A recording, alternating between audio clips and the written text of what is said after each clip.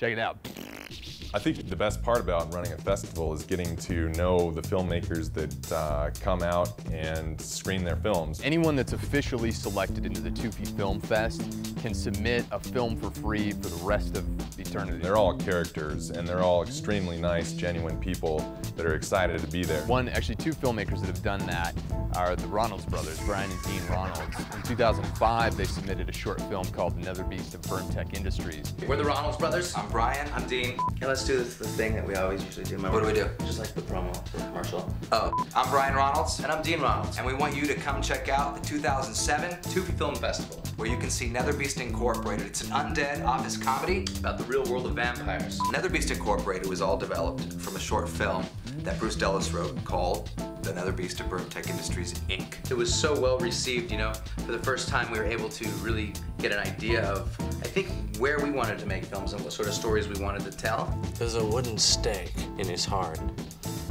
What logical conclusion could you draw from that, Otto? Mike was a vampire. It took us about seven to eight months to cast this thing. And um, it all started off with Robert Wagner. And then uh, we were able to get Darrell Hammond, Dave Foley, Judd Nelson, Jason Mewes from Clerks. I have to say that every one of them made it very easy to work with them on the set. Everybody was embraced the script so much and really came on knowing the script inside and out and, and just being respectful to the script and, and being able to create and listen. And every day they were all just great.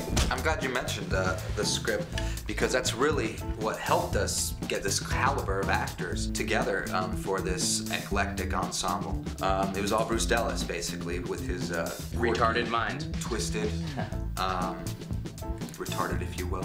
It was very tough dealing with uh, uh, such a, uh, a low budget and a short amount of time. Yeah, we shot Nether Beast Incorporated for under a million dollars. We shot it In uh, three weeks. In three weeks, in 18 days, all in Phoenix, Arizona, in August. It's a very private thing. You can't tell too many people. You can't tell that many people otherwise. Then you're, how you're supposed to sell your movie for the cost that you want to sell it for. We made it for over a dollar and under a million. Turner says you're quite the systems guru.